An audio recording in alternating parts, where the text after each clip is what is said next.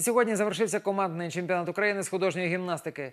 Дівчата змагалися у групових вправах. Вперше за тривалий час він відбувся у столиці. В останній змагальний день на килим виходили кандидатки у майстри спорту і дівчата, які вже мають звання майстрів.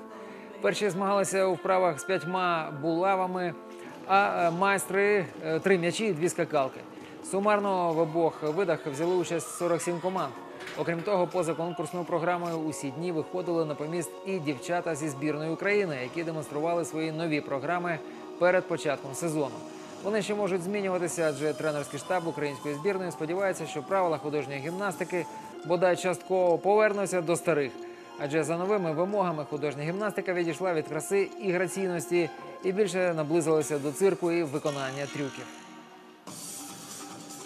Сегодня художественной гимнастике даже не определяет фигура и не определяет внешние данные. Очень важно, чтобы у ребенка, знаете, вот это «хочу» было на лбу написано.